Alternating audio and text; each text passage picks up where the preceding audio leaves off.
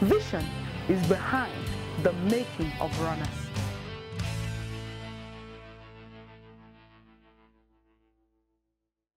Praise the Lord. You're welcome to Saturday, the 1st of April 2023. I believe that you are blessed and have been blessed by what God has been doing in our midst as we've been praising God. Today, we're looking at the necessity of vision. The Bible says, For the vision is yet for an appointed time, but at the end it shall speak and not lie. Though it tarry, wait for it, because it will surely come. It will not tarry. Habakkuk 2 3. Thought for the day. The second most reasonable way to begin a thing after God is to begin with vision.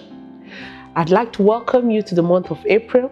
In this month, you shall experience greater dimensions of the mercy of God in the name of Jesus.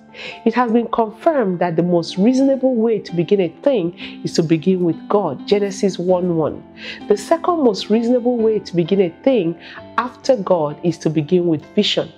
Now, why is vision so necessary? First of all, what you define determines what you can discover. John 18 37. What you define determines what you can find. What you cannot define, you cannot discover. This means if you don't know what you want, you wouldn't know it even when you see it.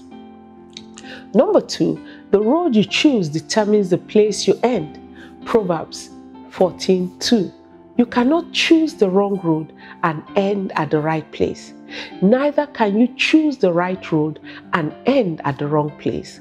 The road you choose determines the place you end. There are people in prison today because of the road that they chose. There are people in mental asylums today because of the drugs that they decided to choose as a wrong way of life. There are people in hellfire today because of the road that they chose. The road you choose is what determines the place you end.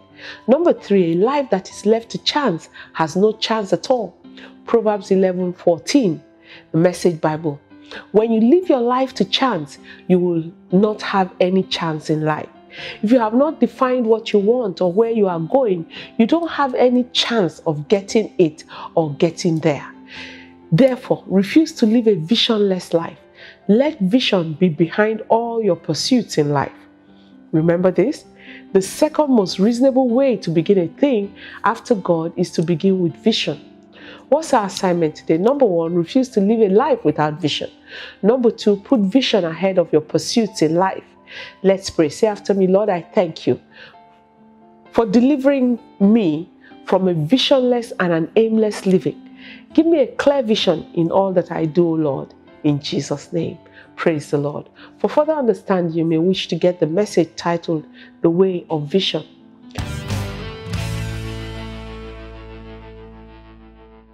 Before I close, I must pray for you to receive Jesus as your Lord and Savior. You want to be born again today. Simply pray this after me. Say, Lord Jesus, thank you for dying for my sins. I know I'm a sinner. I need your help. Please come into my life. Be the Lord of my life. Wash away all my sins and make me a new person. In Jesus' name. Praise the Lord. I want to wish you a very happy birthday. As your days are, so shall your strength be. God cause his face to shine on you and be gracious unto you. In Jesus' name. God bless you. Today we are reading First Chronicles chapter 27 all the way to 29. Very powerful messages in that in those passages, and I believe that as you read it, you will be blessed in Jesus' name. There's an amazing fact here that says one side effect of taking alcohol is when you get blackout drunk, the brain temporarily loses the ability to create memories. That's why drunkards forget some things that happened at some point in time please don't indulge in alcohol. It's not worth it. Praise the Lord. I declare today the grace for clarity and for vision be released upon you in Jesus' name. God bless you.